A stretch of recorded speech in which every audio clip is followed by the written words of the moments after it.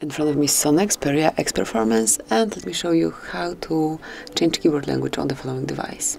So at first you need to open messages, tap on a new one and as you can see currently we are set up with English. If you want to change it, tap on more icon and go to more.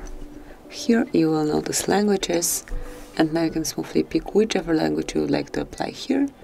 You can choose for example this one uh, as the uh, the difference will be visible then switch English off. Let's go back. And here it is. As you can see keyboard dictionary has been changed.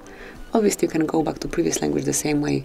By tapping on more go to languages and uh, activate the language that you want to have. Then switch it, switch off uh, the one that you would like to get rid of. Obviously you can remove it also from this uh, list by tapping on delete language pick which you would like to remove then do it again. And as you can see now we've got English only here. So this is it. How you can manage a keyboard dictionary in your Sony thank you for watching. Please subscribe our channel and leave the thumbs up